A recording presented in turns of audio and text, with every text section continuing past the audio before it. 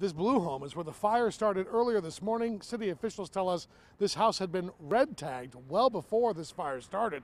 And because there's so much garbage and debris all across this property, that meant this fire spread very quickly to neighboring homes. The fire was large and already spreading to nearby properties by the time firefighters arrived on Union Avenue. Witnesses had been pounding on doors, alerting neighbors of the danger. I heard someone knocking on the uh, door, uh, banging real loud. We got out in the nick of time. In the nick of time. This family of five lived right next door. The flames so intense it damaged the half of the duplex they're renting.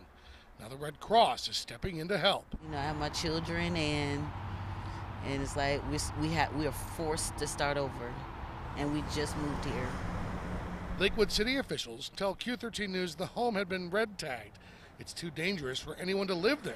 But neighbors say after a recent eviction, squatters moved into the tagged home and garbage started piling up. The city says it had been in talks with the out of state property owner to clean it up.